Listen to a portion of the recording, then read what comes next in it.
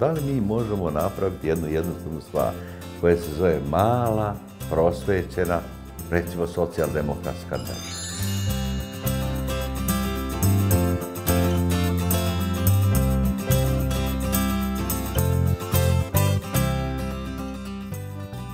Upoznajte Miodraga Zeca, profesora političke ekonomije na Filozofskom fakultetu.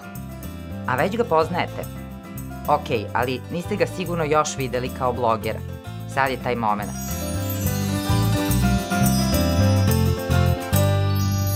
Da li mi možemo napraviti proizvod zvani država? Da li mi možemo napraviti društvo u kome se poštuje svojina i ugovor? U kome se poštuje svojina i ugovor?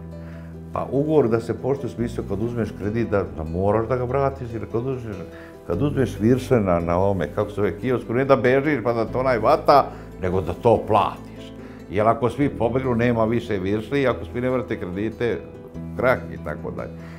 Znači, ovdje se mora društvo, društvo napraviti kao ram za pčele. Pčelar pravi ram za pčele i vlada je pčelar, ali ona pravi ram za pčele a pčele onda baš med nose na taj ram, on im je udoban i tako dalje.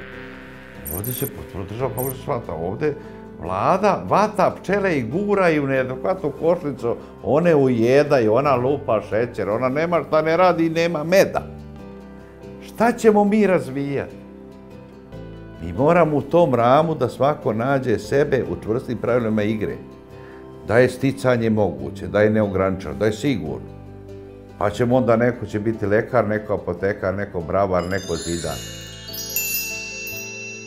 Svako će biti sretan sa onim što je on izabrao, pa će biti sretan i vodoinstalater, i majstor, i master. O, sad će svi biti masteri i kad padne sneg neće biti kod da se popravi na daleko. I penja na daleko bit će 500 evra, a master će biti 55 dinara. Postoji neko generalno načelo. To je da narodi koji imaju industriju, su razvijeniji narodi od onih naroda koji razvijaju poljoprivredu. Može se sa poljoprivredom lepo živjeti, ali ne može biti super razvijen pošto postoji jedna osobina industrije da ima rastuće prinose, a osobina poljoprivrede da ima padajuće prinose. Ali kad ti uzmeš parcijalno što mi uzimamo i nedovoljno znanja, onda ti ne dobiješ ništa. Onda dođu seljaci, kaže, poljoprivreda je naša šansa, dajte nam, dajte nam subvencije ko što daju Holandi. Kaže, ljudi, ko da da subvenciju? Ko plaća subvenciju Pa plaća moćna holandska industrija. A onda što se zaradi pare, udri, udri investitor, oni sve odnesaše dobiti offshore.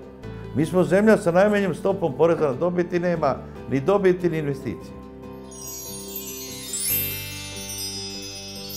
Država treba da potpomaže znanje. Samo se na znanju može zaraditi.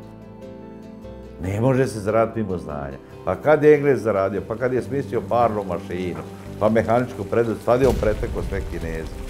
On samo na znanju, ovdje se progoni znanje. Ovdje se pod radom smatra rmbanj, iznojenje. Pa onaj ko radi od jutra do sutra, taj već, ta sirotinja, bio i biće.